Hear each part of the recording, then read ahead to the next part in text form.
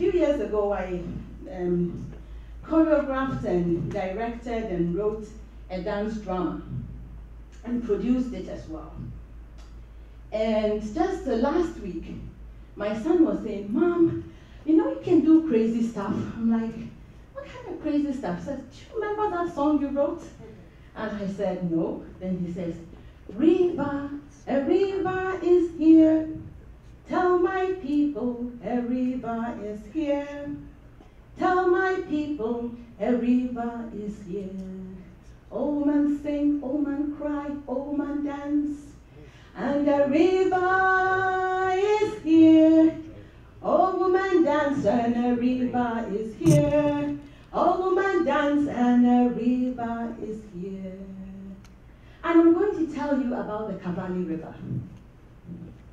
And the Cavally River winds itself slowly, slowly, slowly, slowly down in West Africa until it finds the sea.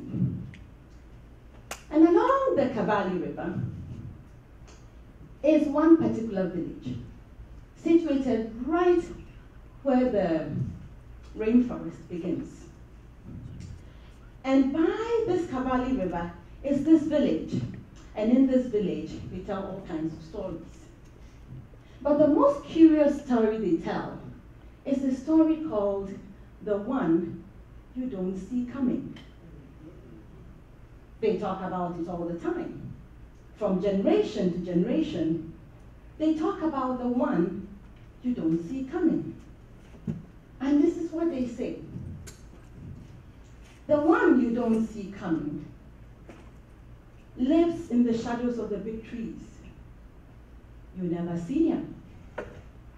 But once the sun sets, very stealthily like a leopard, it sneaks itself into the village.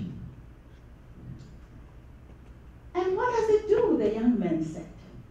Well, the one you don't see coming is a thief. He sneaks himself into the village. But what does he steal? Well, the old people said, he steals the minds of people. Like that, they're sitting there talking, just like we're doing.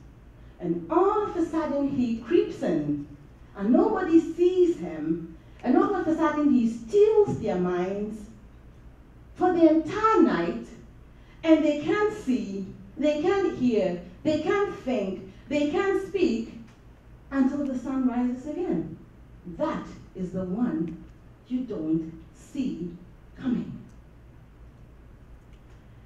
And so year after year they told these stories until one group of young men rose up in the village.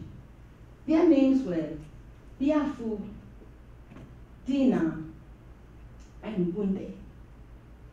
These three men prided themselves on being the most amazing hunters.